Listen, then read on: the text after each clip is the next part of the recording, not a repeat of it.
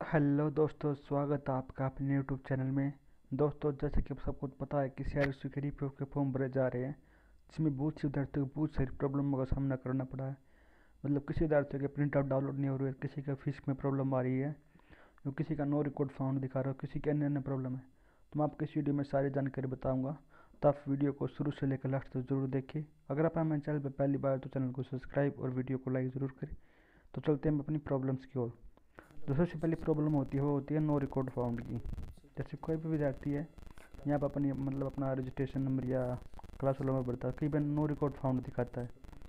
जैसे मैं अपना यहाँ पर क्लास रोल नंबर भरा, और मैं चेक करता हूँ, जैसे यहाँ पर दिखाया नो रिकॉर्ड फाउंड वैसे कई विद्यार्थी मतलब ये रोल नंबर से निकलता, लेकिन रजिस्ट्रेशन नंबर से निकल जाता है। जैसे आप यहाँ पर अपना रजिस्ट्रेशन नंबर भरते हैं जैसे अगर आपका रजिस्ट्रेशन नंबर ना लिखना तो आप पी नंबर मतलब जो रजिस्ट्रेशन नंबर होता है, उसके सामने आप बीस लगा दें। तो आपका जो निकल जाएगा, जैसे मैं अपने बीस लगा दिया, जैसे आप दो हज़ार अठारह, दो हज़ार उन्नीस, दो हज़ार बीस, इस प्रकार जैसे मेरा निकल गया है। उसके बाद जो है, यहाँ से आप अपनी फॉर्म भर सकते हैं आराम से।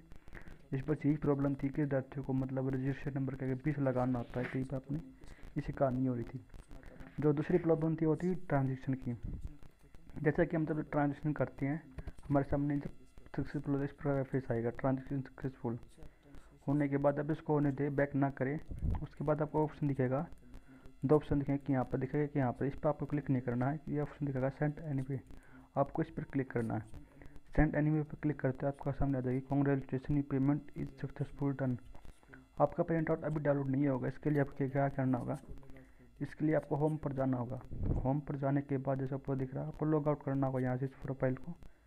जैसे आप यहाँ से लॉग आउट करते हैं, उसके बाद आपको दोबारा यहाँ से लॉगिन करना होगा, दोबारा अपना यहाँ पर रजिस्ट्रेशन पर होना होगा। उसके बाद आपको कंटिन्यू पर क्लिक करना है। जैसे आप कंटिन्यू पर क्लिक करते हैं, उसके बाद अपना लॉगिन करते हैं तो आपके सामने इस प्रकार का इंटरफेस आएगा। जैसे एग्जामिनेशन फॉर्म एग्जामिनेशन का आप यहाँ से अपनी रजिस्ट्री डाउनलोड सकते हैं एग्ज़ाम फॉर्म भी डाउनलोड कर सकते हैं। बिना किसी प्रॉब्लम के। जैसे मैं दिखाता हूँ डाउनलोड करके।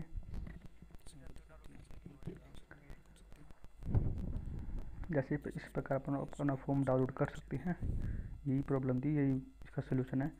और जो थर्ड प्रॉब्लम थी, वो है, जैसे कई विद्यार्थियों की मतलब कोई फ़ीस कट जाती है खाते में से, लेकिन वो शो नहीं होती कई बार वहाँ पर।